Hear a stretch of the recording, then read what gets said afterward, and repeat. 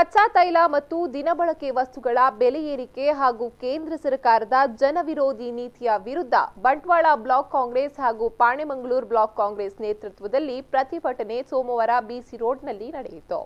ಮಾಜಿ ಸಚಿವ ಬೀರಮಾನತ್ರಯಿ ಪ್ರತಿಭಟನೆಯನ್ನು ಉದ್ದೇಶಿಸಿ ಮಾತನಾಡಿ, ದೇಶದಲ್ಲಿ ಯುಪಿಎ ಸರ್ಕಾರ ಅಧಿಕಾರದಲ್ಲಿದ್ದಾಗ ಕಚ್ಚಾ ತೈಲಗಳ ಬೆಲೆ ಕಡಿಮೆ ಇತ್ತು. ಆದರೂ ಬಿಜೆಪಿಯವರು ಪ್ರತಿಭಟನೆ ಮಾಡಿದ್ರು. ಇದೀಗ ಪೆಟ್ರೋಲ್, ಡೀಸೆಲ್, ಗ್ಯಾಸ್ ಬೆಲೆ ಏರಿಕೆಯಾಗಿದ್ದು ಜನಸಾಮಾನ್ಯರು ತೊಂದರೆ ಪಡುವಂತಾಗಿದೆ. ಜನರಿಗೆ ತೊಂದರೆಯಾದಾಗ ಕಾಂಗ್ರೆಸ್ ಅವರ ಪರ ಧ್ವನಿ ಎತ್ತಿದೆ ಎಂದರು.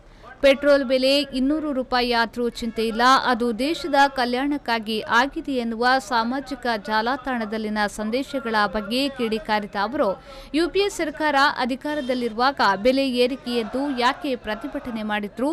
ಯುಪಿಎ ಸರ್ಕಾರ ಜನರ ಕಲ್ಯಾಣ ಮಾಡಲಿಲ್ಲವೇ ಎಂದು ಪ್ರಶ್ನಿಸಿದ್ರು.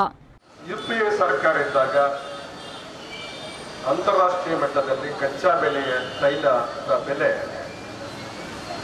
ಡಾಲರ್ ನೂರ ನಲವತ್ತು ಒಂದು ಬ್ಯಾರಲ್ಗೆ ನೂರ ನಲವತ್ತು ಡಾಲರ್. ಇದೆ ನೂರ ನಲವತ್ತು ಡಾಲರ್. ಆವಾಗ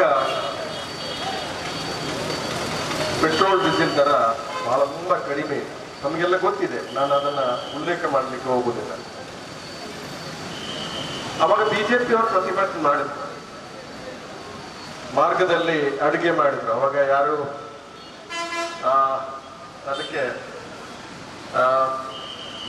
ಅದನ್ನು ಪ್ರತಿರೋಧ ಮಾಡತಕ್ಕಂತ ಕೆಲಸವನ್ನು ಪೊಲೀಸರು ಕೂಡ ಮಾಡ್ತಿದ್ದಾರೆ.